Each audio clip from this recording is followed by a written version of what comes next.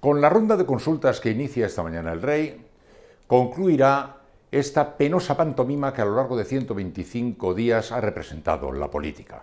Penosa y perniciosa.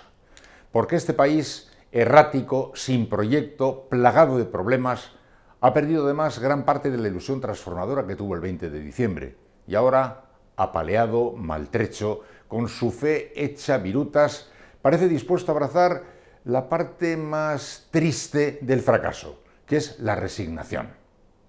Pasando previamente por la incongruencia, porque repasen conmigo las encuestas. Las encuestas han ido diciendo de manera repetida que los españoles no querían unas nuevas elecciones y que, por tanto, esperaban que hubiera pactos entre las fuerzas políticas. Por eso las encuestas repetidamente puntuaban de forma más positiva al PSOE y a Ciudadanos, que decían estaban haciendo esfuerzos, y puntuaban con peor nota a el PP y a Podemos porque decían que no estaban haciendo lo suficiente para estos pactos.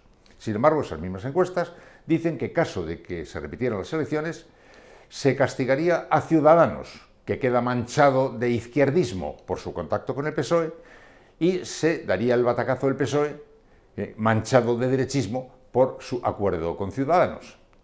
Mientras que Podemos, con Izquierda Unida, posiblemente podrá, podrá aspirar a el anhelado sorpaso. Y sobre todo que Mariano Rajoy, al frente del Partido Popular, repetirá victoria y posiblemente podrá gobernar sin necesidad de reforma alguna, sin necesidad de renovación, sin necesidad de pagar precio político alguno por esa fétida corrupción que no cesa y que continúa goteando.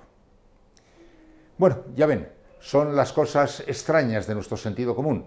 Como decían Voltaire, eh, Gómez de la Serna y muchos otros, el sentido común es muy poco común, eso lo sabe muy bien Rajoy. En última instancia, creo que esta penosa pantomima de los últimos 125 días, para lo único que ha servido, es para hacer campaña en favor del voto en blanco y de la abstención.